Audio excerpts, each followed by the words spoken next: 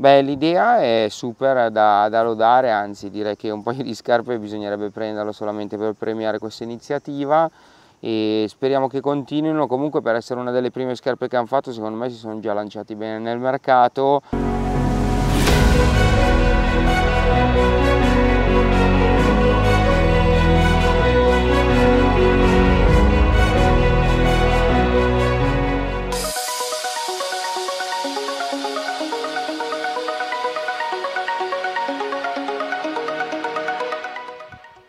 È difficile secondo me da recensore evoluto eh, parlare di una scarpa appena lanciata sul mercato italiano senza raccontare un progetto, progetto partito davvero qualche anno fa. Se fossi il marketing director di questa azienda direi che questo progetto è davvero unico sul mercato anche perché eh, offre un futuro sostenibile, crea nuovi posti di lavoro, posti di lavoro in Kenya e al tempo stesso offre un miglior impatto ambientale perché queste scarpe sono perfettamente riciclabili, tutte cose legate a un futuro più sostenibile e sicuramente progetto davvero molto promettente. E questa secondo me è la ragione principale per provare questa scarpa, la Enda, la Patette, appena lanciata sul mercato italiano e di cui vi allego qua sopra l'unboxing che abbiamo fatto qualche settimana fa, ma in realtà oggi non mi voglio soffermare né in chiacchiere né soprattutto in dettagli tecnici, penso che la cosa più importante di questa scarpa sia parlare eh, dell'aspetto e dell'opinione di Andrea in corsa.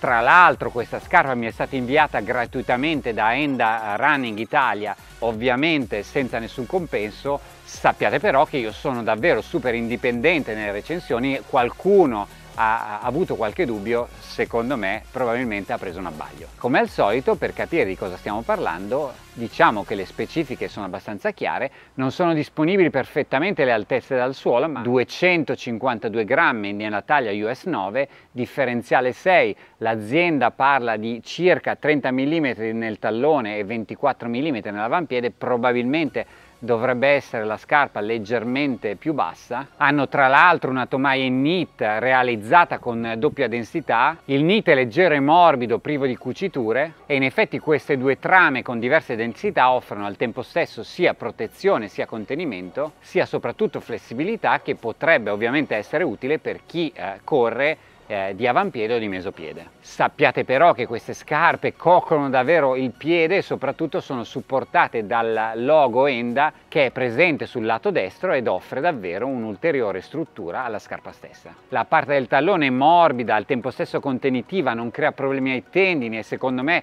offre davvero un livello di stabilità sicuramente non visto in altre scarpe neutre. Sappiate però che è fondamentale secondo il mio punto di vista e vediamo anche quello che ci dirà Andrea, eh, comprare la scarpa del modello giusto perché una scarpa leggermente più larga potrebbe in effetti eh, crearvi dei problemi soprattutto a velocità elevate. Tenete conto comunque di quello che ci dirà il prodepodista soprattutto per quello che riguarda la calzata, sappiamo che la scarpa si può trovare in diversi negozi italiani che questi negozi lo spediscono anche online, vi consiglio eh, al tempo stesso di provarla prima di eh, comprarla. Alla tomaia sono stati agganciati due collarini per il passaggio dei lacci, idea davvero molto geniale ma ovviamente dipende anche dalla vostra conformazione anatomica. La linguetta è un tutt'uno con la tomaia e questo potrebbe rendere il collo del piede più felice e al tempo stesso la lacciatura più semplice. Sappiate però che la scarpa è a forma fusolata quindi eh, verificate sicuramente la calzata essendo leggermente diversa rispetto a quella tradizionale.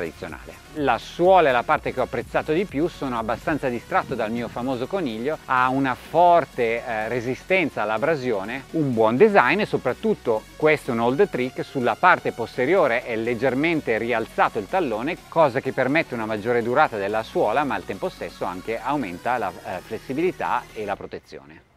Tra l'altro sarebbe davvero leggero se vi iscriveste al canale, non so se in effetti Andrea pesa 52 kg come eh, la bilancia suggerisce, scusate se sono stato sintetico ma eh, volevo lasciare la parola ad Andrea che prima della Sicilia, prima dei 52 kg, eh, ci ha raccontato cosa ne pensa di questa scarpa, nel frattempo voi stay strong, keep running e ci vediamo alla prossima.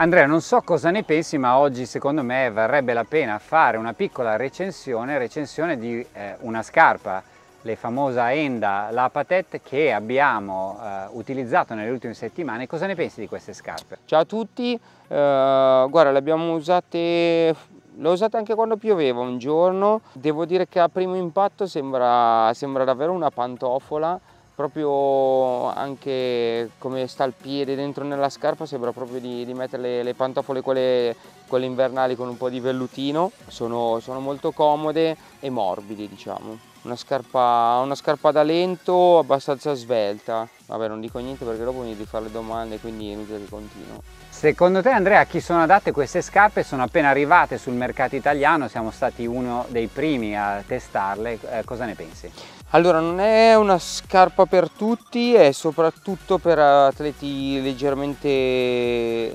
leggermente leggeri, quindi direi almeno sotto i 75 kg, forse meglio anche i 72. Quindi non è una scarpa per, per oversize ed è una scarpa per, per, corridori neutri, quindi la sconsiglierei un pochino a, ai vegli iperpronatori. Il problema è solamente da tomaia che, che farebbe cedere troppo il piede a, a chi iperprona. E secondo te Andrea per quali distanze le utilizzeresti? Eh, ovviamente adesso fa molto caldo, comunque eh, cosa ne pensi? Guarda, non l'ho trovata calda, quindi una scarpa, eh, poi sai che io non ho questi grossi problemi tranne con le Pegasus 37 di caldo del piede. Le userei per tutte le corse lente della settimana, forse anche per il lungo, magari non il lungo maratona che diventano un po' impegnative. Mi trovo bene anche ad usarle su, sui ritmi del lento svelto o dei fartlek non troppo tirati. Abbiamo detto nella, nella, prima recensione o comunque nell'unboxing che la calzata era particolare, eh, che cosa suggerisci? Comunque sono disponibili sia nei negozi sia i negozi poi le potrebbero anche vendere online. Suggerisco di provarle, se non, se non potessi provarla nel negozio fisico la ordinerei di mezzo numero più piccolo assolutamente perché vestono grande il mezzo numero più piccolo è perfetto però comunque da provare. Diciamo che non aiuta molto la, la tomaia in Flyknit che sem sembrano proprio dei calzini e però risulta ancora più larga di quello che magari sarebbe una tomaia normale. Quindi assolutamente mezzo numero in meno sono, sono d'accordo e penso che eh, valga la pena andare nei negozi però comunque mezzo numero in meno è quello che raccomando pure io. Scusami aggiungo un'altra cosa sulla numerazione attenti a guardare quella quella US come al solito i centimetri perché il 27 cm e mezzo mio che di solito è un 43 in questo caso è un 42 e mezzo quindi state attenti guardate US e non, e non l'europea a livello di battistrada che sensazione hai avuto? Hai detto che l'hai utilizzata pure durante la pioggia, cosa ne pensi? Allora il battistrada non è tassellatissimo ma non mi ha creato problemi è una scarpa che comunque riesce a spingere, non, non ho mai perso il passo, quindi neanche su pista bianca qua ne abbiamo a profusione, quindi direi che il battistrada è approvato, si sta consumando un pochino ma non è niente di eccessivo. A livello di intersuola è un'intersuola abbastanza classica, che sensazione hai avuto e soprattutto la ritieni più morbida o più reattiva? Eh, hai fatto una bella domanda, allora l'intersuola ce n'è abbastanza soprattutto nel tallone, è un'intersuola che, che, ho trovato comunque reattiva perché eh, te l'ho detto quando volevo correre mi sentivo una scarpa leggera al piede che, che potevo spingere. Non troppo protettiva ma diciamo una scarpa da lento svelto. Mi, mi piace chiamarla così uh, un po' le stesse sensazioni che mi dà una Pegasus ai tempi della 33 uh, in questo caso l'unica pecca confronto alla 33 è la, la tomaia un po' troppo lasca si può dire, è un po' troppo larga, però è una scarpa più reattiva che protettiva diciamo.